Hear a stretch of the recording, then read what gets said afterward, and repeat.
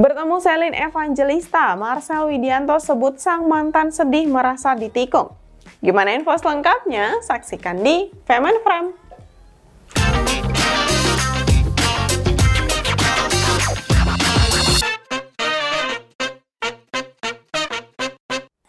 Halo, kembali lagi dengan aku, Gaida. Komika Marcel Widianto menjadi sorotan publik setelah kabar kedekatannya dengan Selin Evangelista. Tak hanya dekat, Marcel mengakui memiliki hubungan spesial dengan Selin. Tapi hubungan Marcel Widianto dengan Selin Evangelista sudah kandas. Sebab Marcel sudah memiliki kekasih bernama Chanson X JKT48.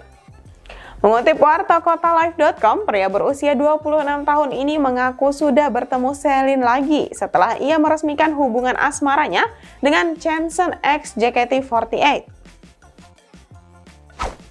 Marcel mengklaim pertemuannya dengan Selin setelah pisah sangat emosional.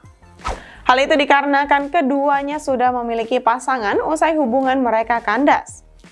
Namun Marcel Widianto memastikan hubungan asmaranya dengan Chanson X JKT48 serius dan akan lanjut ke jenjang berikutnya.